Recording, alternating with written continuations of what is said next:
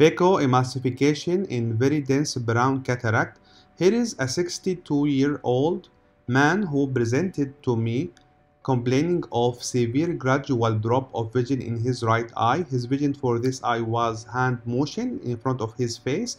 I started with 2.2 clear corneal incision, then staining the anterior capsule using a trypan blue underneath the air bubble. Then I start the rhexis. You can see the anterior capsule is fibrosed. Once I do a small incision in the anterior capsule, the liquefied cortex comes out from the lens. I'm trying to do small rhexis, but you can see the liquefied cortex and the pressure inside the lens is high. I couldn't complete the small rhexis because of the liquefied cortex. Then I use the cannula again to aspirate this liquefied cortex then injecting a viscoelastic dispersive one to protect the endothelium of the cornea. Here I try to avoid the fibrosed area of the anterior capsule.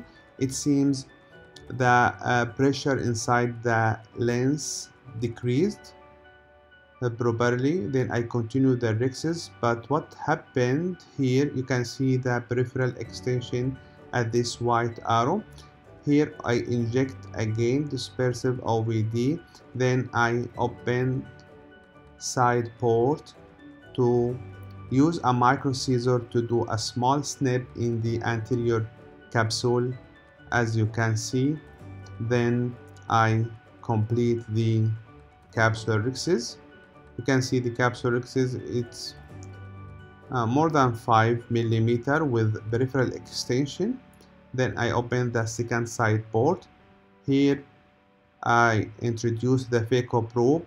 I try to hold all the nucleus and take it out of the capsular bag into the anterior chamber. At this time also I keep the irrigation.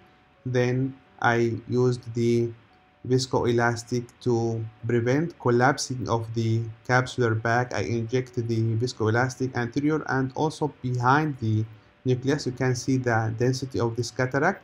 I try to push the nucleus to see what's happened if this peripheral extension pre-equatorial or uh, goes to affect the posterior capsule. It seems that the posterior capsule is intact so I choose to continue phacoemulsification. You can see the density of this cataract. Here is the chop technique. I chop this dense cataract as it's clear to smaller pieces with injection of a, uh, a dispersive OVD to protect the endothelium of the cornea as I am doing the emulsification of this dense cataract in the anterior chamber you can see the emulsifying of this dense cataract has been done uh, properly. You can see the posterior capsule is intact. Here is a very important step to prevent collapsing of the anterior chamber and the capsular bag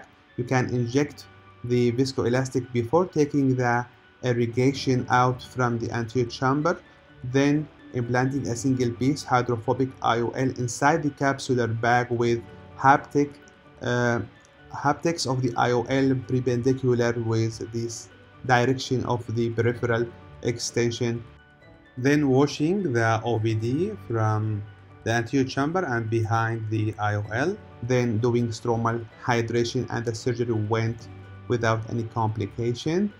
Here you can see the patient on the second day after the surgery. The cornea is clear there was mild corneal edema and the patient was very happy on the second day post-operatively.